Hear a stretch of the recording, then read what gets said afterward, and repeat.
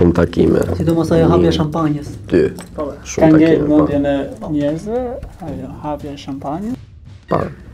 Që edhe kjo në mënyrë metaforike plako përfaqësonte hapjen e diçkaje tjetër, kupton? Këtu është metafora që duhet të futesh ta kuptosh, kupton? Nuk ai ishte thjesht i shishe 3000 lekë, ku di un se sa ishte ble, po ajo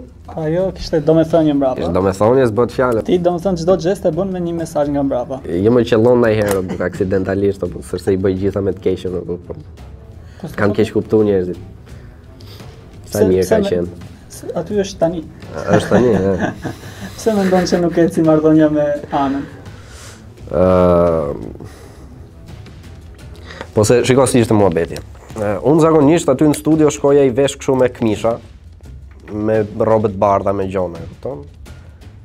Ana nga ana tjetër kishte qef meshkuj që shtreshin për tokë për shembull, e fshinin pistën që kishim aty studio. Po po mu vite gjynof për rrobat, po sa e boja, e kupton se Ana goxha femër, po vite gjynof për rrobat nuk shtrihesh aty lutesh ose kështu e ke parasysh. Edhe ndoshta kjo ka qenë një arsye që pas takimit dytë nuk eci më. Okej, okay, ka qenë edhe ajo kleçka me takimin me Sindin që Mas takimin, para se dilte takimi me Anën, pranova unë dalë me Sindin, por këto janë, kjo ishte thjesht shkak për mos me dalë marë,